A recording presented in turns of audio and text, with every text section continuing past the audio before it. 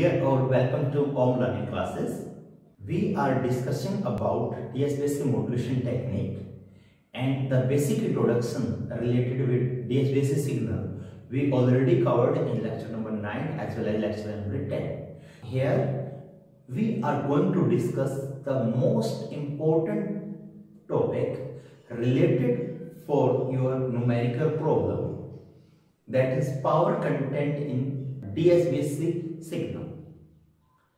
A signal with finite power and has infinite energy is known as power signal. There is two things in there. One is the power should be finite and second thing is the energy should be infinite. The both the condition are completed. Then the signal is known as power signal. And the another thing is the power is your time average of energy.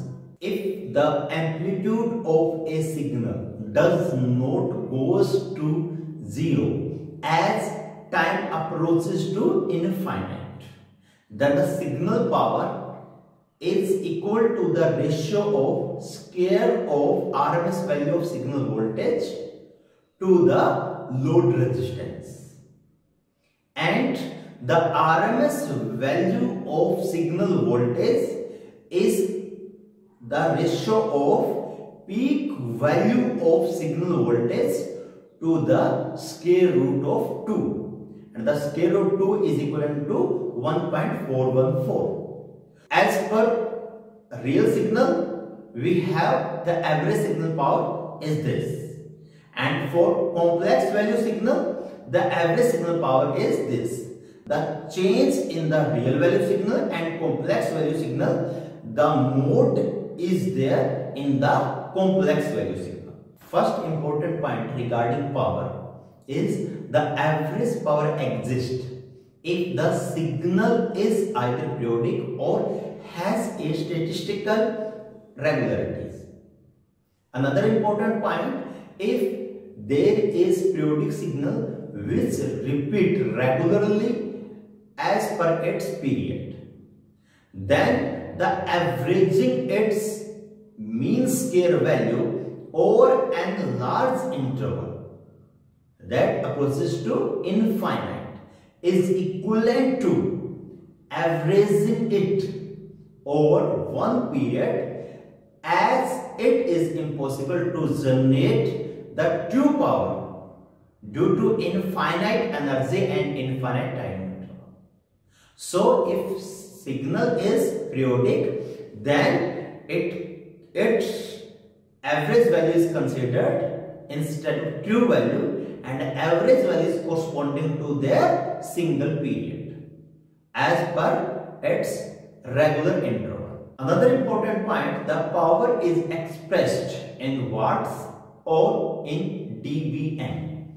The dB means decibel and the dBm is used to express an absolute value of power with reference to milliwatt. There is two things in decibel. One is dBm, another one is dB. The dBm is used to express the absolute value of power with reference to 1 milliwatt.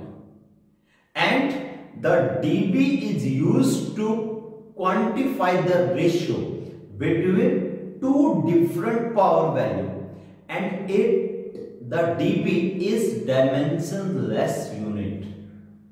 So there is two things and you definitely know the difference between them. When we consider the power then it is always considered with respect to dBm and the when the constant ratio is there then we can consider dB. And the power in dBm is equivalent to the 10 log base 10 power in milliwatt to the 1 milliwatt. So now we have the mathematical formula for dBm that is corresponding to power in milliwatt with respect to or with refer to 1 milliwatt and the mathematical formula for power in dB that is 10 log P2 by P1 and the power P1 and P2 are two different power level where the power P1 and P2 are two different power levels specified in same unit. It can be in watt or it can be in milliwatt. The very interesting fact that in dB we put the B letter as capital letter because it is in the honor of great inventor of telephone that is Alexander Graham Bell. For his honor we put the B capital word that is related with Alexander Graham Bell. Finally, we have the necessary condition for the power signal. Now, as per our DSBC example, which we already taken in lecture number 10, then the same example we considered here. The modulating signal MT is equivalent to A m cos 2 pi f MT as per the mathematical representation of signal power. If the signal amplitude does not goes to zero as time approaches to infinite, then the signal power defined as the ratio of square of RMS value of the signal voltage to the load resistance. By using this mathematical formula, we get the modulating signal power is the ratio of am square to the 2rl. Similarly, we take carrier signal that is Ct that is equal to AC cos 2 pi Ct.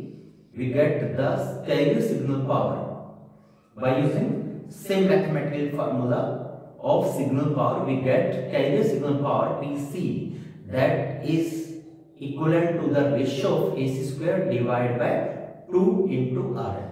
Now as per our modulated DSB-SC signal, we have lower sideband that is corresponding to FC minus FM operating frequency. And we have upper sideband that is corresponding to FC plus FM operating frequency. So as per our upper sideband and lower sideband, we have modulated upper sideband signal power as well as modulated lower sideband signal power. So the modulated lower sideband signal power that is corresponding to FC minus FM operating frequency that is equal to this. And similarly we have modulated upper sideband signal power that is corresponding to Fc plus Fm operating frequency and that is equivalent to this. The total sideband power is equivalent to upper sideband power plus lower sideband and the total sideband power is equivalent to square of Am into Ac to the 4 into R. Now this sideband power is corresponding to single tone signal. Means if the message signal is corresponding to single operating frequency.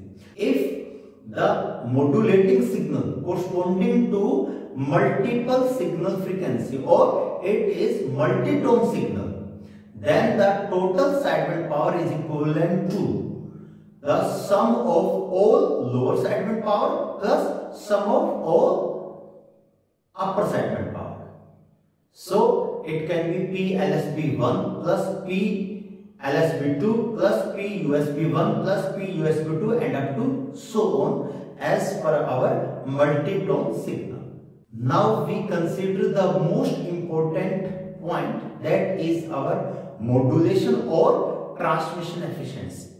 The modulation or transmission efficiency is the percentage of total power contributed by the sideband means the sideband that have the useful information and the carrier signal is only considered to transport the signal so as per our mathematical formula the modulation or transmission efficiency is the ratio of total sideband signal power to the total modulated signal power. Here in DSB-SC signal, the total sideband power and the total modulated signal power are same because the carrier signal is absent in the modulated spectrum.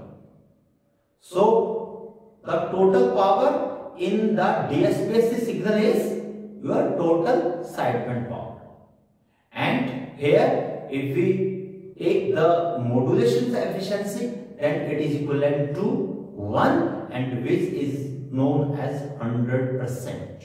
Thus, the entire power in DSB-SC signal is your sideband power.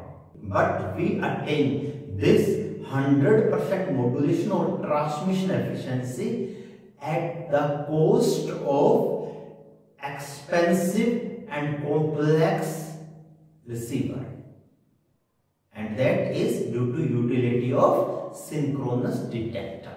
So as per the conclusion, we have two important characteristics of DSB-SC signal. The first important characteristic is that the DSB-SC modulation scheme has 100% transmission or modulation efficiency. The second important outcome that the bandwidth of DSB-SC modulated signal is equal to 2 times of maximum modulating signal frequency or band. Thank you very much for your precious time and please subscribe this channel for getting regular updates.